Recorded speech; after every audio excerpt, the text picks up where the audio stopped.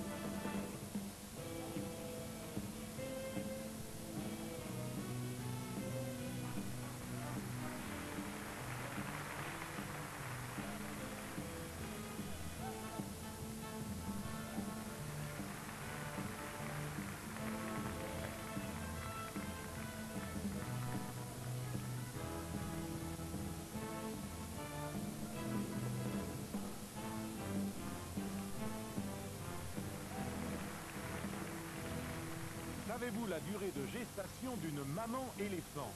Non? Eh bien, 22 mois quand elle attend une petite fille et 24 mois quand elle attend un petit garçon. C'est normal, pour la perfection, il faut bien deux mois de plus.